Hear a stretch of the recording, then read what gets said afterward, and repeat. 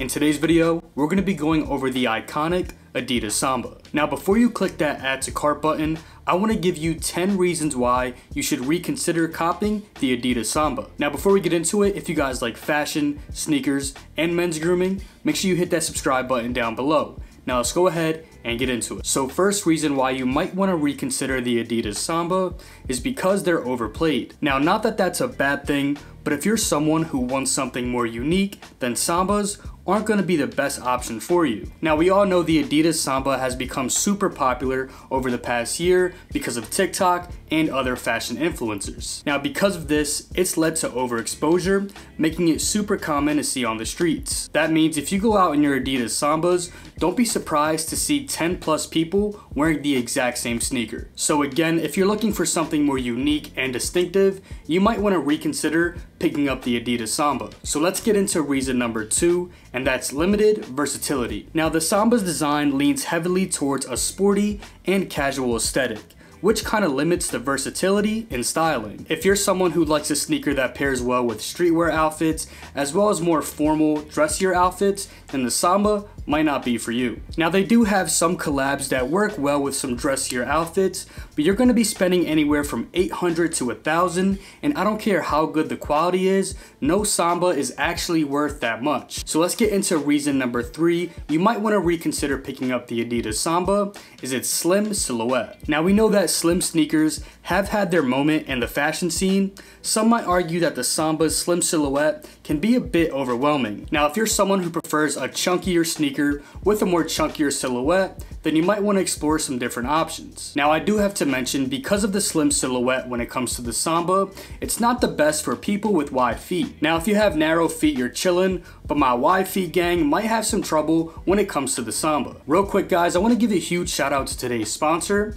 which is me my clothing brand. If you guys didn't know, I've recently dropped my first collection. I dropped a four pack of shorts and if you use the code BOGO, you can get buy one, get one 20% off. So let's go ahead and do a giveaway for a pair of shorts in your size. All you guys have to do is subscribe, like the video, and comment the shorts you want, your size, and your Instagram. So first link in the description down below if you wanna check out the shorts. Now let's go ahead and get back into the video. So that brings me to reason number four, and that's lack of innovation. Let's face it, the Samba hasn't seen much innovation or evolution in recent years. Now if you're someone who values new design or the latest tech in your sneakers, you might be disappointed when it comes to the Samba. Getting into reason number 5 you might not want to pick up the Samba is its limited colorways. Although some Sambas come in various colorways, the selection can somewhat be limited compared to other sneaker models. If you're someone who likes different patterns and colors to express your unique style, you might find the Samba colorways underwhelming. Getting into number 6, why you shouldn't pick up the Adidas Samba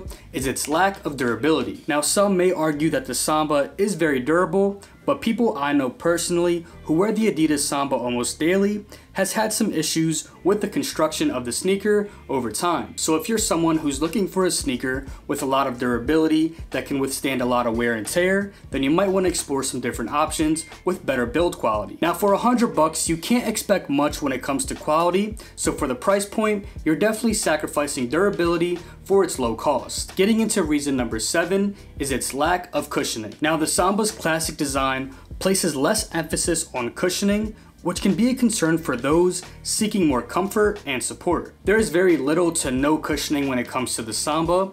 It's literally just the insole and the midsole. That's all you get. So if you're someone who does a lot of walking or likes a lot of cushioning when it comes to their sneakers, then the Samba isn't for you. Getting into tip number eight, it can lead to brand overload. Now don't get me wrong, Adidas is a great brand, no doubt about it. However, if your wardrobe is already heavily dominated by Adidas products, Adding the Adidas Samba might contribute to the brand overload. Sometimes it's good to diversify your sneaker collection and explore different brands that are out there to keep your style fresh and new. Getting into the 10th reason why you should avoid the Adidas Samba, you want to embrace individuality. Streetwear and fashion in general is all about expressing yourself and standing out from the crowd. By exploring other sneaker options, you have the opportunity to discover unique styles that truly align with you and your personal tastes instead of jumping on the latest trend. So there you have it. 10 reasons why you should think twice about copying the Adidas Samba. Now like I always say, buy what you like, but don't buy something just because it's the most popular sneaker at the moment. Now as always, I appreciate you guys for watching, and I will see you in the next one. Peace.